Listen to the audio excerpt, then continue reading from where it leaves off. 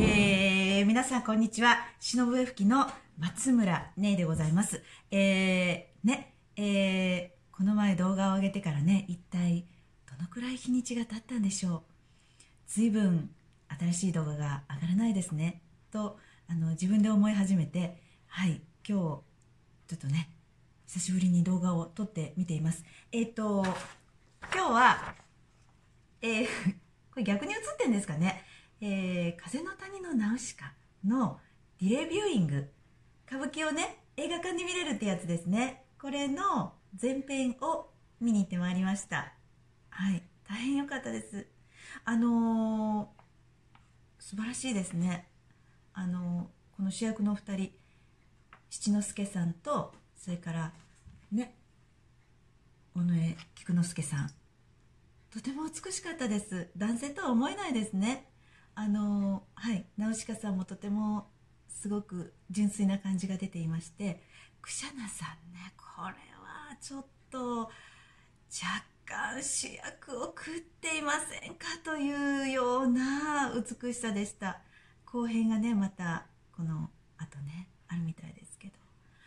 ぜひ見に行ってみられたらいかがでしょうか。音楽がですねなんとあの歌舞伎ですんで和楽器で全て構成されていましたあ和楽器、えー、2個も入っていましたから全てが和楽器というわけではありませんが琴十七弦尺八篠笛それから能管太鼓三味線、えー、鐘もありましてですね鐘と鈴もありました。そこに2個も加わってその曲その曲でですねその雰囲気を醸し出しておりました。和楽器であの耳慣れたナウシカの音楽がですね聴けるっていうのもああ、すごいなと思って、ああ、私ももう少し腕がありましたら、そこの忍笛で参加してみたい、みたいなですね、そういう素晴らしい音楽奏でていらっしゃいました。あのー、原作もね、読みましたし、えー、映画も見ましたし、ビデオで何回も、テレビでも何度も放映されてますので、何度も何度もこのナウシカのストーリーをですね、分かっているのですがやはりそのツボのところにね来ますとねもう本当に涙が出てですねはあもううん感動するナウシカねぜひ見に行ってください。あの後半ね私もこの後ムビチケで予約しようかと思っておりますので、はい、少しねお安く見れますんでドリンク代ぐらいは出ます。はいということで、えっ、ー、と、出だしの曲はですね、あの、耳慣れたナウシカのあの、映画のね、出だしのところで流れております。あれあの曲のタイトル何て言うんでしょう、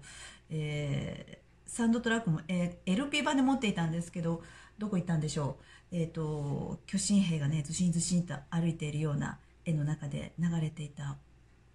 オープニングの音楽だったと思いますね。はい。ちょっと途中までですけど耳コピで吹いてみました。なんかあのナウシカの音楽ねなんかできるといいなと思いました。ということで、えーと、今日ねちょっとあの思ったことを一つお話しする動画にしようと思うんですけど、えーと、なんせ忍笛は、えー、一番低い狐から、えーと、せめて大寒の3くらいまでは出せないとなかなか音楽を楽しんでいけないよねっていうお話、えー、と私ね、まあ、お教室始めてから6年目になります。なんて大胆なんでしょう。できもしないうちから、えーと、お友達に笛を教えていますのでもう本当にできもしないうちから、えーと、お教室をねやってあの皆様のおかげで私も少しずつ育っておりますけれども、えーと、一番初めの生徒さん一番初めから私とこに笛を着て雰囲気にね来てくださっている生徒さんが昨日お稽古に来てくださいました。ね。通い始めて6年目ですよ。ね。よく続けてくださっているなと思ってありがとうございますっていう感じなんですがその方が昨日おっしゃいました。この頃ね自分のお家で練習をするのが楽しくなりましたと。その理由は何だと思います？その理由はねえっ、ー、とこの音鳴らしたいと思った時にその音が鳴らせるようになりましたと。一通り今までも一生懸命吹いてきたんですけど一通り低い音から大寒の3ぐらいまで鳴らそうと思えば鳴らせるっていう風にこの頃なってきたんですと。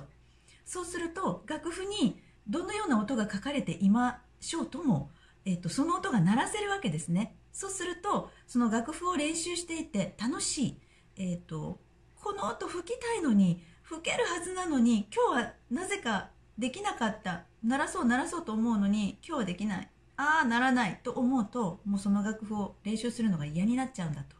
でもこの頃はそのいろんな音がですね一通り鳴らせるようになったので楽譜を練習していくことが楽しくなったんですとこうおっしゃいました。えー、っと本当にそうです。あの一日も早く私のとこにね来てくださってる皆さんにも一日も早く